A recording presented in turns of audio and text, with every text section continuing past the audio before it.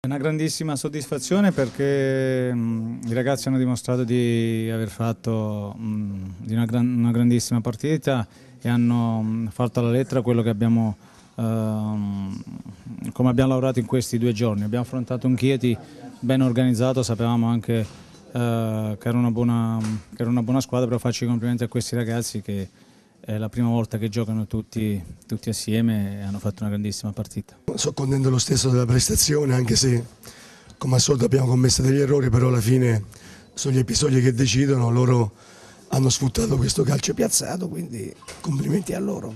Risposte positive da qualcuno, è vero che noi non avevamo mai visto che il sabato gioca con eh, la Beretti. Ma sì, hanno fatto una buona prestazione, eh, più di qualcuno, ripeto, io sono contento di quello che abbiamo fatto. Mi dispiace solo che abbiamo fatto 120 minuti e non passare il turno, questo mi dispiace. È stato un bel derby, d'accordo.